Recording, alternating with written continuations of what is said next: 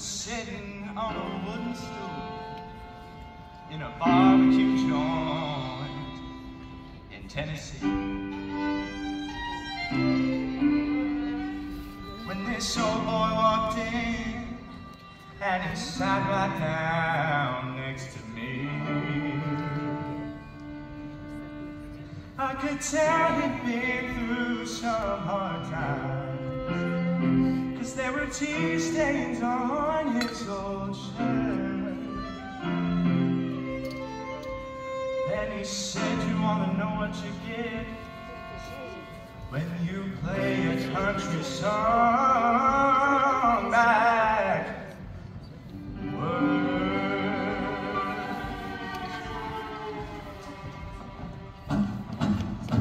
Get your house back, your dog back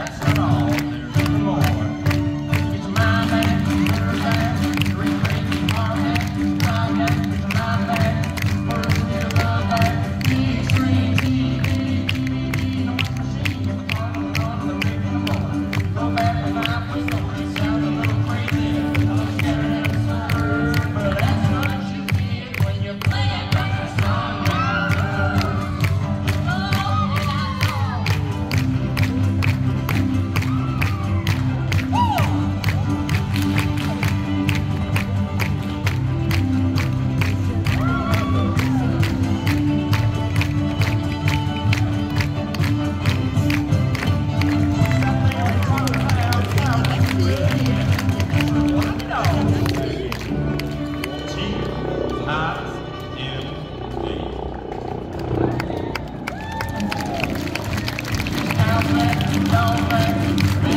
you.